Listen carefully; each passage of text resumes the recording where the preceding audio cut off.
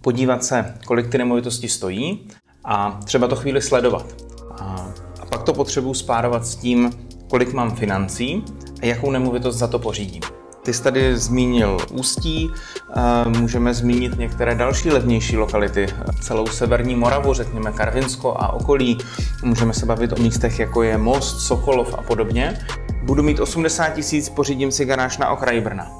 Budu mít 40 tisíc, tak prostě už budu muset mimo Brno a koupím garážový stání v Pohořelicích. Nebo někde. Jo, prostě za mě je nejdůležitější jakoby začít a překonat to, že vlastně nikdy jsem neinvestoval, vlastně nevím, co ten proces obnáší.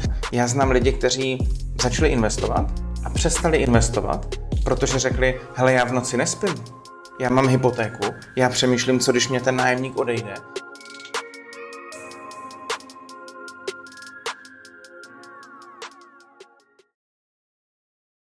Já se jmenuji Adam Vojnar a vítejte na nejsledovanějším YouTube kanálu o investicích do nemovitostí Bohatý díky realitám.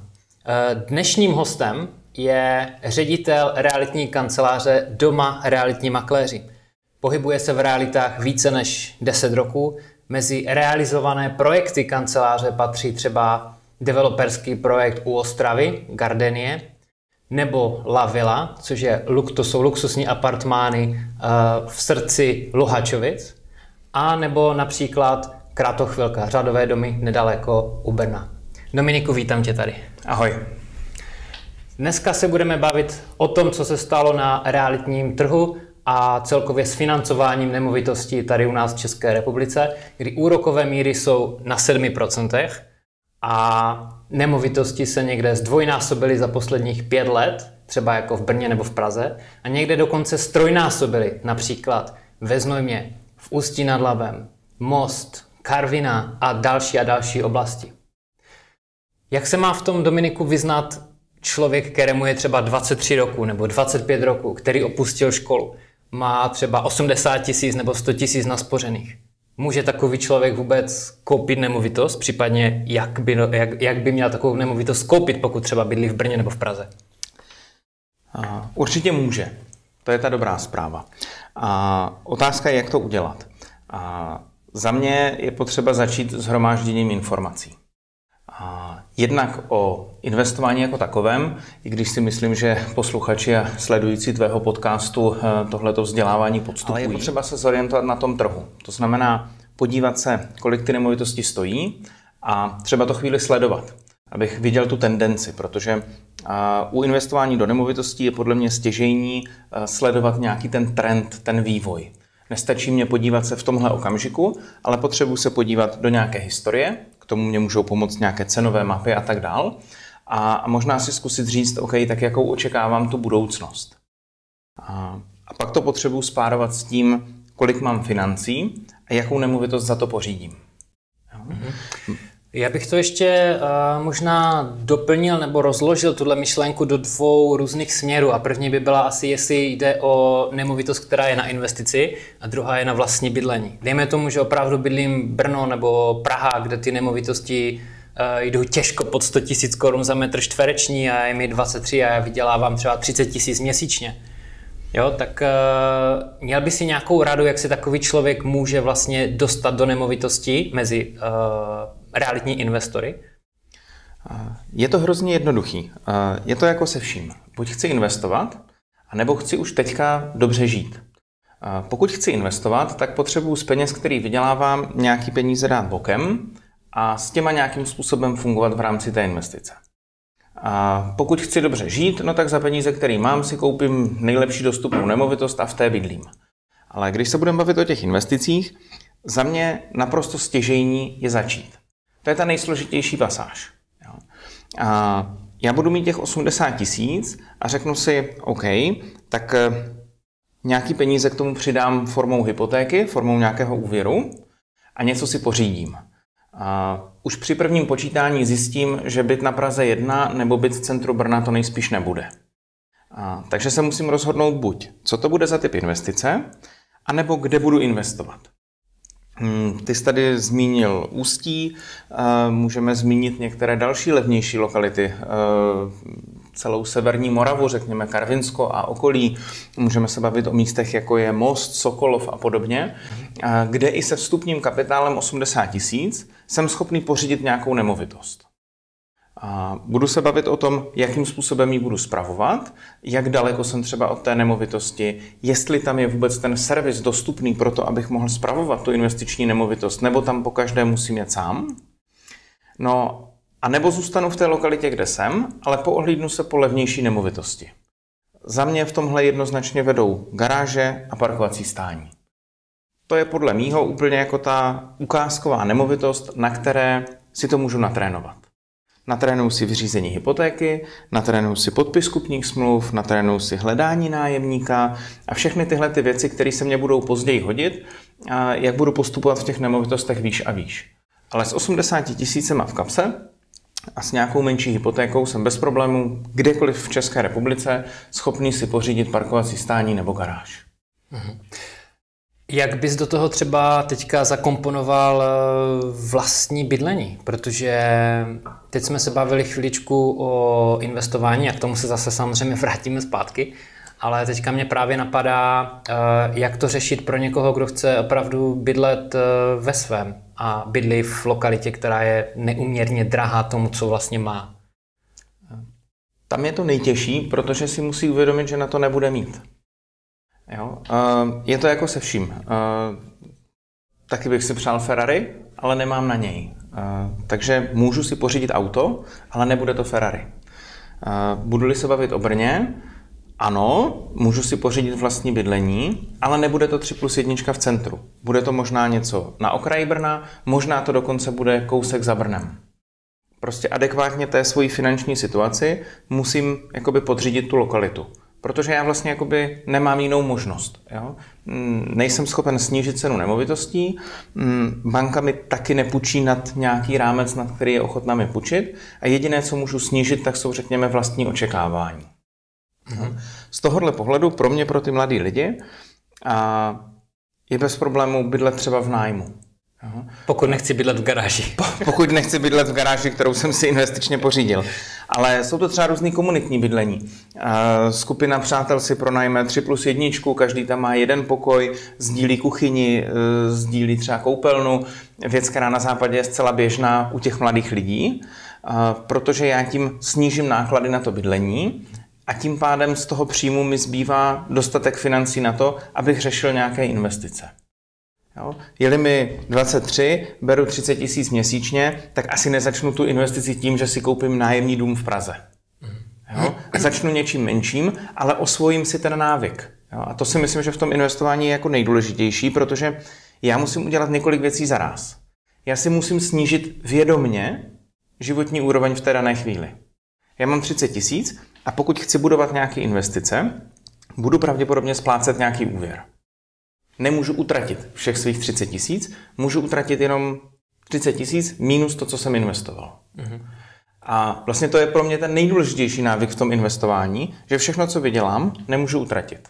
Musím mi prostě na konci měsíce vždycky něco zbít tak, tak, tak. a musím mít návyk ten, že prostě utratím méně, než kolik vydělám. To dá rozum. No. A, a vlastně pak už to jenom jako přidávám k sobě. Jo? To, že začnu eh, s malou garáží, kterou pořídím za 250 tisíc a budu ji za 800 korun pronajímat, to vůbec nevadí, protože já si dostanu do krve ten návyk, já si dostanu do krve ten zvyk, že prostě mám nějakého nájemníka, mám nějakou nemovitost, musím se o to starat, musím s ním být nějak v kontaktu a tak dál. A ve finále zjistím o několik let později, že starat se o nájemní dům a starat se o jednu garáž je dost podobná práce. Jo? Já se to vlastně naučím v mladém věku mm-hmm. a pak už jenom v průběhu času, protože jsem zvyklý část svého příjmu dávat bokem, protože jsem zvyklý investovat do nemovitostí, tak jak mi v průběhu života roste ten příjem, tak já zase o to větší část jsem schopný dát někam bokem a zhodnocovat to v těch nemovitostech. Mně se líbí dvě hlavní myšlenky z toho, co jsi řekl. První uh, bych řekl, že byla, dívám se na to jako na příběh, a druhá je, že začínám vlastně s co nejnižším nějakým stupínkem, tím schodem, na který můžu vlézt, který si můžu dovolit. Pokud mám 80 tisíc, tak ten můj první schůdek bude opravdu nízoučky eh, v tom světě těch realit. A ty další mě teprve čekají. A když si to představím vlastně jako to schodiště, tak si můžu říct, no dobře, tak začnu z garáží, je mi 23, kdo říkal, že bych měl mít na byt za 5 milionů, anebo na 3 plus jedničku v Praze hned v tomhle věku. Tak prostě začnu garáží, potom jdu dál, dvě garáže, nebo levným bytem někde na druhé straně České republiky a potom prostě přidávám a jdu dál a jdu dál a rostu a rostu. Jak jsi to myslel s tím eh, příběhem, eh, sledováním toho, toho vývoje? Co konkrétně by měl ten člověk eh, sledovat? Uh, za mě je to šíře nabídky, a ceny.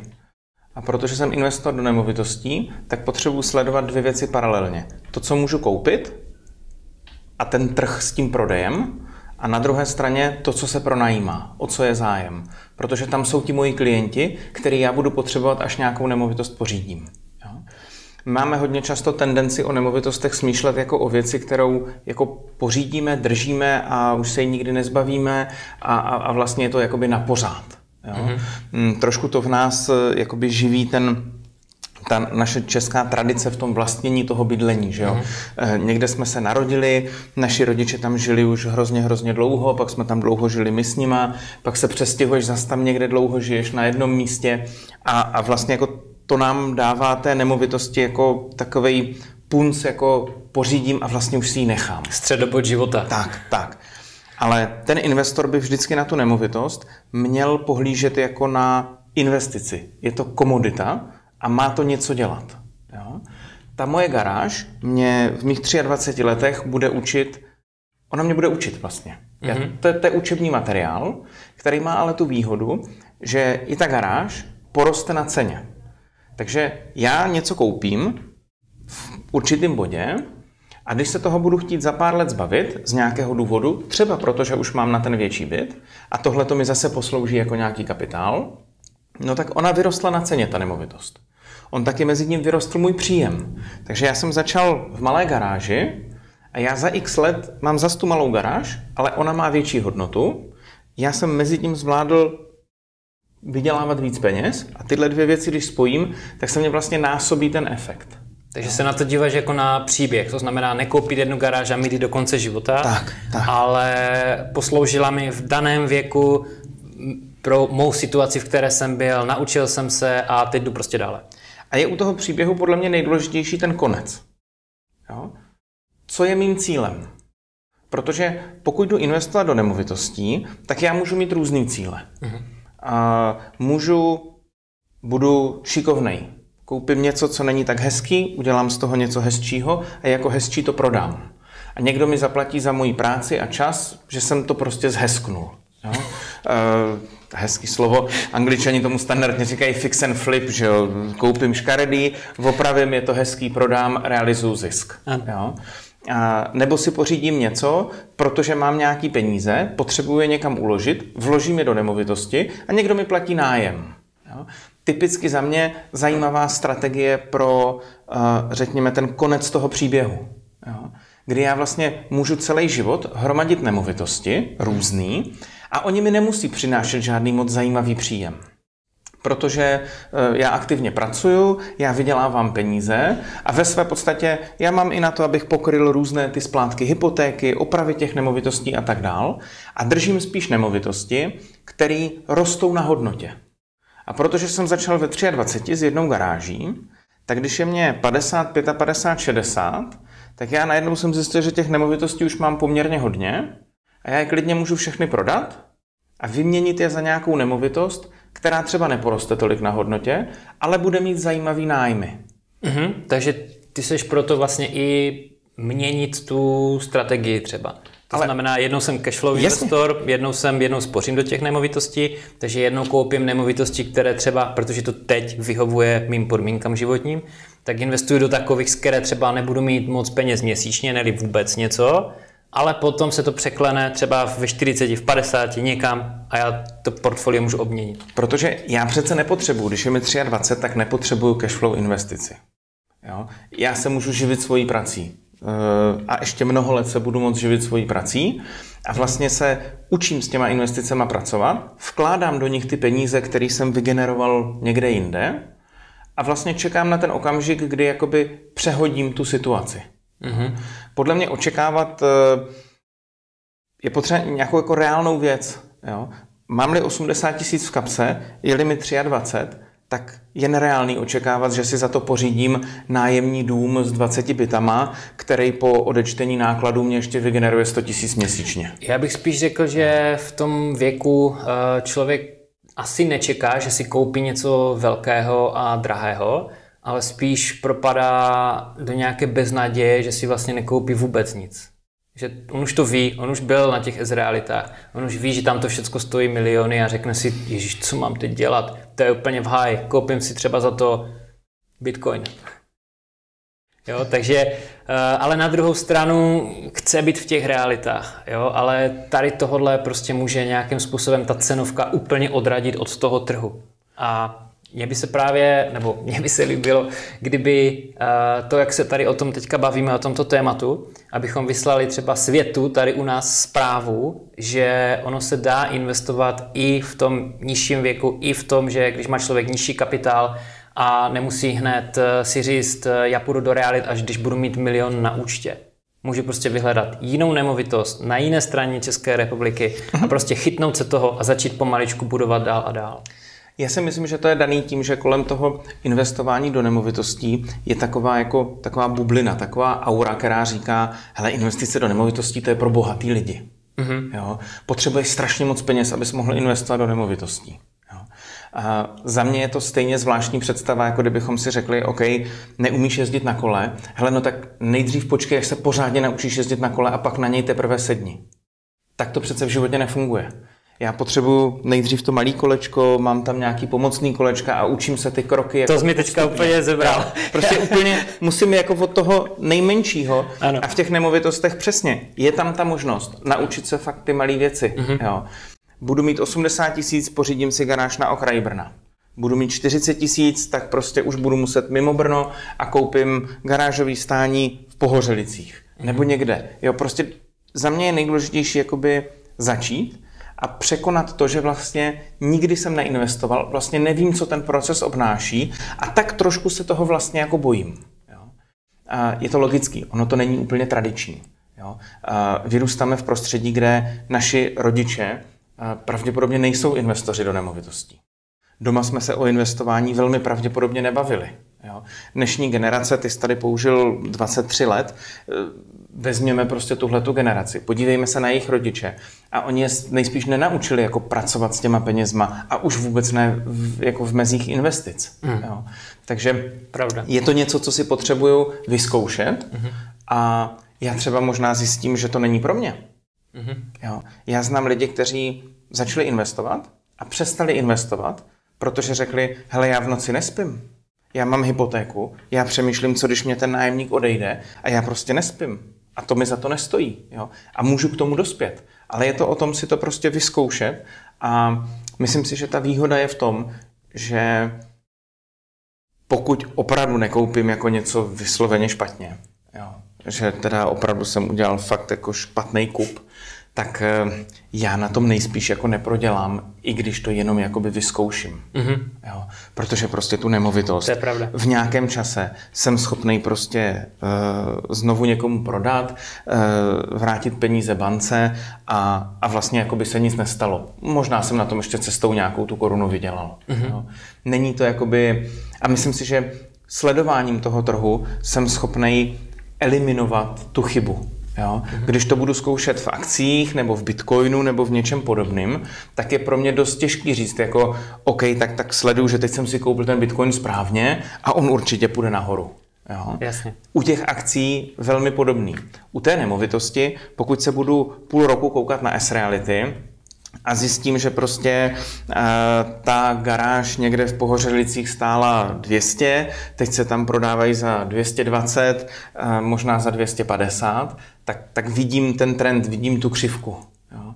A oni ty nemovitosti málo kdy tu křivku mají navíc dolů, takže mm-hmm. v tom je jakoby ta určitý bezpečí té investice. Mm-hmm. Jo.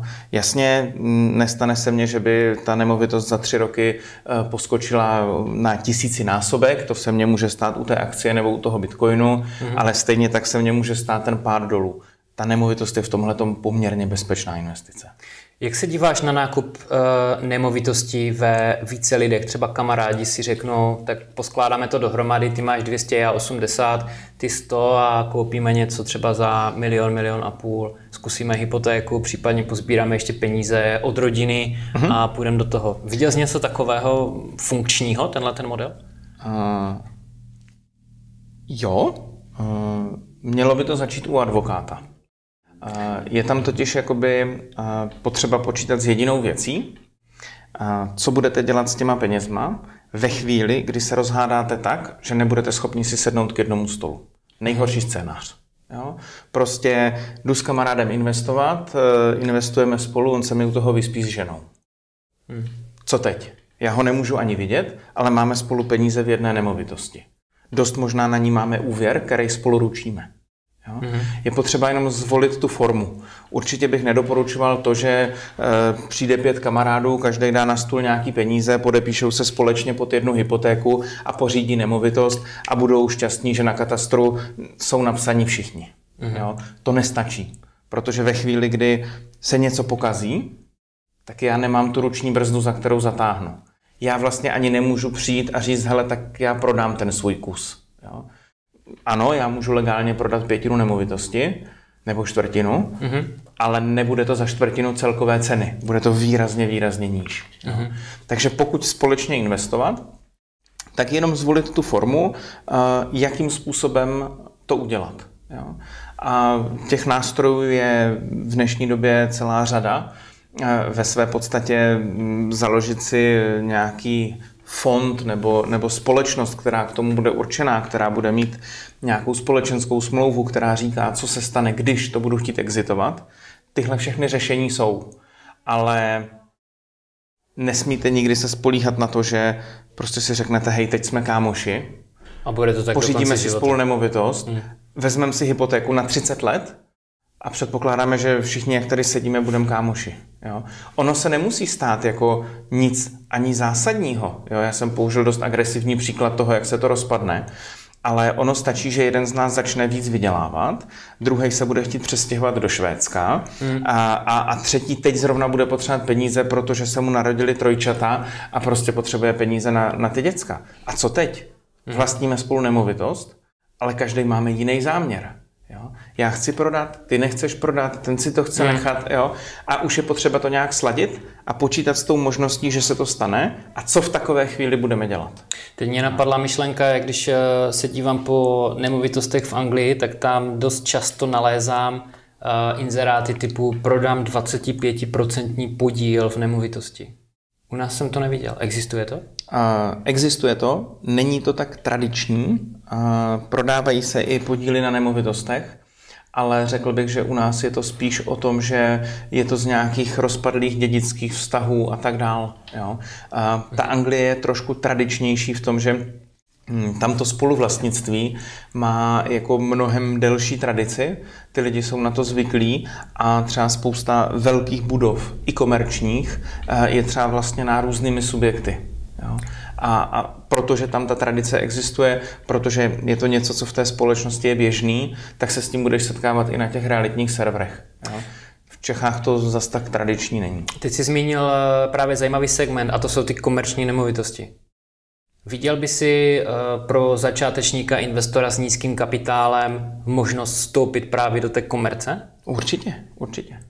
A co třeba může koupit za ty peníze? Je to třeba PNS nějaká trafika? Nebo? Jasně, uh, budeš se divit, ale tady tyhle ty stánečky jsou jako celkem populární. Mm-hmm. Uh, většinou kupuješ jako tu boudičku a, a, a nájemní smlouvu na pozemek pod tím. Mm-hmm. Jo? Většinou tady tyhle ty stánky jo. stojí na různých jako městských pozemcích, na třeba pozemky, které vlastní dopravní podniky a takovéhle věci, mm-hmm. ale koupíš si tu svoji nemovitost, standardně na ní máš eh, nájemní smlouvu na ten pozemek, uh, každý, kdo chataří, tak to zná, že jo? to je mm, Spousta chat v České republice stojí na státním pozemku nebo na pozemku měst, města, lesů a tak dál. Mm-hmm. Takže není to jakoby nic netradičního a dá se to i s tím nižším kapitálem pořídit. Jo? Jo.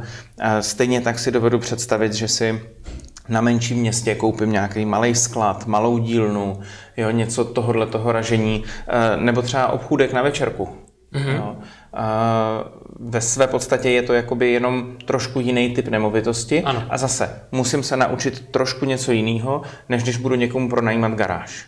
Mhm. Jo? Je tam možnost třeba i uh, hypotéky, že člověk si může vzít hypotéku na takovouhle věc? Hypotéku většinou ne, protože hypotéka jako účelový úvěr slouží pro zajištění bytové potřeby. To znamená, primárně je to určený pro věci, ve kterých se dá bydlet. Uh-huh. Dá se zajistit úvěrový financování.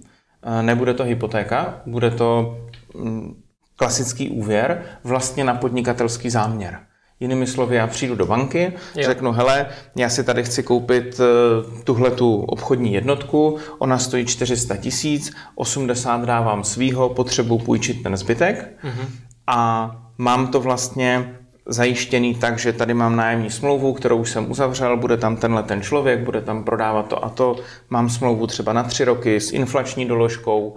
A naopak ty komerční nemovitosti jsou víc variabilní, protože zatímco u hypotéky mě v dnešní době více jak 80% řekněme eh, nepůjčí, tak u té komerční nemovitosti, pokud ten obchodní model je nastavený dobře, tak není problém klidně zafinancovat 100% té nemovitosti. Mm-hmm. Tak to je velmi zajímavá informace, eh, zvlášť pro ty, kteří mají opravdu nízký kapitál, protože ten kapitál může vlastně sloužit eh, na různé poplatky, opravení té budovy. Mm-hmm a vlastně kupuje za 100% financování, to není vůbec eh, špatný, špatný nápad tady. A je tam, je tam vlastně uh, jako zase, uh, je s tím víc práce jo. a umožňuje to víc věcí. Jo? Uh, protože třeba, když potom v těch komerčních nemovitostech půjdu dál, tak uh, tam dost často třeba prodávám nájemní smlouvu. Jo? To znamená, já asi pronajmu obchodní jednotku, starý škaredý obchod na náměstí menšího města, uh, opravím ho, seženu tam nájemníka, protože prostě si dám tu práci, zjistím, že tam třeba není lékárna nebo banka nebo, nebo obchod s oblečením, najdu toho nájemníka, podepíšu s ním kontrakt na pět, na deset let a takhle tak nachystanou nemovitost podám dál. Mm-hmm. Odvedl jsem tam spoustu práce. Jasně, jasně. A vlastně najde se zase investor, který nechce odvádět tu práci, zaplatí mi za tu moji práci uh-huh. a je rád, že aha, já si můžu koupit tady nemovitost, je tam na 10 let nájemník, všechno je tam vyřešený, celý je to opravený, paráda, to je investice pro mě. Já to vidím tak, že člověk vždycky musí něco nabídnout, nějaký kapitál uh, té dané, tomu danému biznesu. Uh-huh. A buď ten kapitál je ve formě peněz, nebo je to ve formě zkušeností, nebo je to ve formě toho času, kdy já tím časem, který do toho dám, nazbírám ty zkušenosti a časem získám i ty peníze. Takže když mi je 23, tak uh, nemám prostě rodinu, víkendy mám úplně volné, odpoledne, energie hodně, můžu jít do jedné do rána a při, vstát v 6 ráno a jít do práce. Takže proč uh, nespojit dohromady investici s tím biznisem? To znamená, jak si říkal, uh, opravím obchod, najdu tam někoho a prostě prodám investici někomu dalšímu, uh-huh. kdo je třeba pár těch schudků nade mnou a Jasně. já tam můžu být za, třeba za. 10 let a tyhle věci kupovat zas od někoho jiného. A to je přesně ten koloběh, jo? protože když je mi 23, tak budu řešit takovýhle obchůdek, budu ho opravovat a když mě bude 45, tak naopak budu rád ten, kdo si to od někoho takového koupí, protože už ty finance mám a hledám spíš tu cash flow investici. Hledám spíš to, kam ty peníze uložím a jenom z toho tahám ten nájem, když to tak řeknu. Mm-hmm. Takže si myslím, že je to i o nějakým jako posunu toho myšlení v čase. Jo. Mm-hmm. Přesně jak říkáš, jsem mladý, nemám rodinu, mám spoustu času, nemám ten kapitál. No jo. tak musím hledat příležitosti, kam můžu vložit čas a energii a třeba méně kapitálu a bude to něco generovat. Když mi bude 45 nebo 50, tak budu mít méně času, nebo nebudu tolik ochotný věnovat čas a energii, Jasně. ale už budu mít vygenerovaný zase nějaký peníze, takže to spíš budu tlačit penězma než tím časem a energií. Mm-hmm. A vlastně takhle si to můžu přelívat a u těch nemovitostí mm, tam je taková variabilita a tam je tolik možností, že ve své podstatě já si můžu bez problému najít to, eh, k čemu budu tíhnout, to, co mě bude připadat jo. smysluplný. Jo. To vlastně znamená to, že i když zjistím na začátku, že nemovitost třeba není pro mě, tak to neznamená, že eh, není pro mě v budoucnu, když se zase něco v mém životě stane a já zase eh, vkročím do těch nemovitostí zase z jiného, z jiného úhlu, tak jak bych to jinak dělal na začátku. A já si myslím, že jako hrozně důležitý je to v tom, že musíme jako neustále sledovat ten trh a poznávat ho. Uh-huh. A ono je to, na to existuje krásný srovnání s vařením. Protože spousta lidí si myslí, že kuchař vaří. Ale to, co dělá kuchař nejčastěji, je, že zhání suroviny a učí se poznávat ty suroviny, aby z nich potom mohl vařit. Aha. To stejný investor by měl zkoumat ty suroviny, měl by se orientovat na tom trhu. Jo? Mm, určitě, že u nemovitostí je extrémně důležitá lokalita. Věc, kterou investoři strašně často podceňují, že si koupí něco někde, eh, kde to třeba zas tak dobře neznají, protože si to nějak poslechnou z, dohledu, z doslechu. Jo? A krásný srovnání, kupte si byt na francouzské v Brně a v Praze. Ulice se jmenují stejně. Vypadá to na nich dost jinak. Jo? A tuhle chybu snažně snadno udělám, takže je mě těch 23 jsem prostě mladý, chci si koupit tu garáž. Aha. No co udělám? No tak tři víkendy po sobě si stoupnu na to místo a sleduju, jestli tam jezdí auta. Protože jestli tam nejezdí auta, tak asi nebude moc velká poptávka po tom, aby si tam někdo zaparkoval to auto. Uh-huh. Jo. Jedu se tam podívat, jestli tam hm, těch aut stojí na chodníku e, tolik, že prostě si tam skáčou po hlavě. OK, to bude zajímavý místo, kde si koupit garáž. Pokud se projdu po té obci a zjistím, že tam na ulici nestojí jediný auto, protože všichni parkují na vlastním pozemku, OK, to asi nebude dobrý místo, kde si koupit garáž.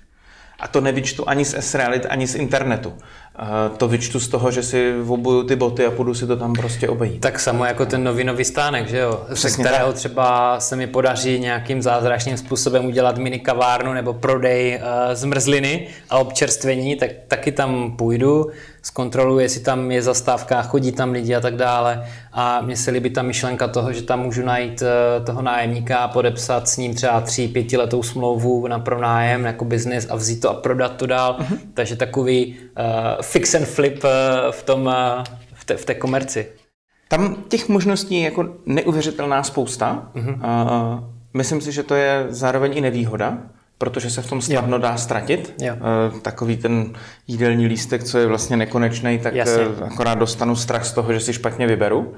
Ale u těch nemovitostí já se jako nemusím bát, že si špatně vyberu. Mm-hmm. Já to vyzkouším, zjistím, že prostě tohle to třeba není pro mě a, a tu nemovitost prodám a pořídím si jinou, nebo se budu věnovat jiné části toho trhu. Jo. Podle mě je to i ohledání pro toho investora, co je vlastně to, co mě přináší jakoby nejzajímavější efekty. Jo. A ona to vždycky bude kombinace nějakého klidu, kombinace nějakého výnosu a tak dále. Čím rizikovější kapitál, čím rizikovější místa, tím zajímavější výnos, ale tím hůř se taky v noci usíná. Jo. Takže ono je to jako o tom hledání toho, co vlastně jako chci. Mm-hmm. Čím by si začínal uh, u těch nemovitostí? Kdybys teďka si poslechl tady tento náš rozhovor a někdo si řekne, Ježíš Maria, komerce, garáže, na druhé straně republiky, s kamarádem, jsem z toho blázen, kde, kde mám začít? Já bych začal tím, kolik peněz mám. Jo. Jsem a... rád, že jsi to řekl, to byla první věc, co mě napadla. Tak... Prostě jako jsem investor, chci si něco koupit. Jo. A bez peněz do hospody neles. Ty budeš potřebovat ty peníze a potřebuješ si říct, OK, kolik mám, kolik můžu získat. Půjčí mě rodiče, půjčí mě banka, eh, dám se dohromady s nějakýma kámošema, prostě dát si dohromady ty peníze. Mhm. Pak si řeknu, OK, takže já se vlastně bavím o tom, že bych teďka chtěl investovat tolik a tolik. Co si za to můžu koupit? Mm-hmm. Jo? A když to úplně přeženu, no tak si sednu k těm S-realitám, dám tam celou Českou republiku, postupně vyklikám všechny možnosti a vložím tam prostě cena do a tam mám těch svých 300, 400, 800, 500. A najednou zjistím, co si můžu koupit. Můžu si koupit garzonku v Sokolově. To ani nevím, kde je, tak si ji pravděpodobně nekoupím. Blikne tam na mě e, novinový stánek tady v Pozořicích u Brna. Řeknu si, OK, slyšel jsem podcast, Adam říkal, že tam, tam mám prodávat zmrzlinu, tak se tam pojedu podívat, jestli třeba by to mohlo být zajímavý. Mm-hmm. A vlastně já hrozně moc zkoumám předtím, než něco udělám. Jasně. Jo? Prostě neměl bych nikdy udělat to, že si řeknu, OK, tak, tak eh, tady jsem si spočítal na hypoteční kalkulačce, že mě půjčej 300, no tak eh, koupím první, co mě napadne. Jo? Hmm. Je to trošku i o tom hledání, protože mm, já vlastně jako si chci koupit dobře, takže bych si měl udělat ty srovnání. Měl bych se jet podívat na několik nemovitostí, měl bych si spočítat několik těch obchodních případů, měl bych si vlastně jakoby porovnat mezi sebou, protože díky tomu se naučím, jak poznám dobrou nemovitost. Jo. Já si vždycky, když vidím ten nízký kapitál, uh, vzpomenu na rezidenci Gardenia, kde tam byl vlastně uh, nejlevnější byt pod milion korun, že? když uh, se to začalo prodávat, což bylo úplně neuvěřitelné. Jasně. A k tomu se dalo taky dostat, bylo to veřejně dostupné, že? A nebylo to za den pryč, že? Z té nabídky. Uh, ještě, ještě než ti položím poslední otázku, nezapomeňte dát like tomuto videu, dát subscribe, odběr a dejte si, podívejte se taky na webovou stránku bohatydíkyrealitam.cz, vložte svůj e-mail, budete dostávat vynikající informace o investování do nemovitosti. A když už jsme u toho, na jakou webovou stránku se podívat, mrkněte taky na Doma makléři, na konkrétní nabídku nemovitosti tady Brno, okolí a podobně. Poslední věc, eh, s kterou se dost často setkávám právě, a to je když mám ten nízký kapitál, nebo když prostě tomu trhu teďka nevěřím v tuto chvíli, je to drahé, hypotéky jsou vysoko, nemám počkat třeba dva roky, když už to bude konečně levnější a koupím, vstoupím do toho trhu jednodušeji? Uh, já nemám křišťálovou kouli. Za ty roky, co dělám v nemovitostech, uh, to nikdy levnější nebylo. A ty nemovitosti rostou někdy pomaleji, někdy rychleji málo kdy klesají. S tím, jak se nám prodražují stavební materiály, s tím, jak se nám zvedají mzdy, ono ani moc nemá odkud to přijít. Jo. Takže mm, já můžu počkat a velmi pravděpodobně tím akorát odložím o tu dobu, co počkám, ten cíl, který ho chci dosáhnout. Jo. Mm-hmm. Tím neříkám, že bychom teďka všichni měli sednout k S-realitám, spočítat si peníze a koupit si nějakou nemovitost. Jo tak to určitě není, protože to začíná tím uvažováním. Uh-huh. A ono dost možná, já ty dva roky strávím tou přípravou. Jo. Ale jde o to, jestli se začnu chystat teď, anebo jestli si řeknu, hele, teď to vůbec nemá cenu, tak nebudu dělat nic a, a za dva roky se rozhodnu. Jo. Já to, že začnu pracovat na té svojí investiční strategii, na tom svém systému, začnu se orientovat na tom trhu, to neznamená, že zítra musím koupit nemovitost. Já se klidně můžu rozhodnout za ty dva roky. Ale když začnu teďka, tak za ty dva roky budu mít dva roky náskok na tom trhu Přesně. oproti všem ostatním lidem, kteří si řeknou, teď to nemá cenu, začnu za dva roky. Já se dva roky můžu vzdělávat, já se dva roky můžu jezdit dívat na nemovitosti, já dva roky můžu zkoumat ten trh a ty principy, které tam fungují. A já za dva roky budu o dva roky chytřejší, než ti, kteří si dneska po zhlednutí videa řeknou, ale to nemá cenu, začnu za dva roky. Mm-hmm. Protože taky je dost možné, že nezačnou nikdy. Dva roky je dlouhá doba. Je to tak. Vkročí do toho tisíc milion věcí, co ten člověk může dělat a, a bude v největší pravděpodobnosti dělat úplně něco jiného za tu dobu. A trh bude úplně zase jinde. Úplně se vším je prostě nejtěžší začít. Mm-hmm. Jo. Takže dá se začít s málem, to jsme si dneska ukázali, ale prostě vrhnout se do toho, zjišťovat si ty informace, bavit se s lidma. To tady nezaznělo. Mm-hmm. Zazněly tu podcasty, zaznělo tu vzdělávání. Někdy je fajn se jenom bavit s lidma. Mm-hmm. Jo. Jasně, někdo, kdo má nemovitost. Někdo, kdo eh, třeba má nemovitost, eh, nebo naopak třeba i se bavit s někým, kdo, kdo je v nájmu. Jo, poznat i tu druhou stranu, eh, poslouchat toho nájemníka, zejména u těch komerčních nemovitostí, mm-hmm. je to jako hodně důležitá věc, znát ty svoje nájemníky. Jo? Protože jaký to je být v nájmu bydlení, to si pravděpodobně ten člověk v těch 23 umí představit, protože dost pravděpodobně on sám v nájmu bydlí. Mm-hmm. Ale jaký to je pro najímat si komerční jednotku, ten stánek toho PNS nebo ty zmrzliny a tak dál, to už zas tak jako nevím, takže je fajn se bavit i s těmahle těma lidma. Perfektní. Díky moc za odpovědi, Dominiku. Rád, a stalo. my se s vámi teďka loučíme. Buďte bohatí, mějte reality, buďte bohatí díky realitám. Nezapomeňte dát odběr na tomto kanálu a jestli se vám video líbilo, dejte like, budeme s Dominikem určitě rádi. Jestli se vám nelíbilo, Nevadí, dejte třeba dislike, my to přežijeme. Díky, mějte se fajn. Ahoj. Ahoj.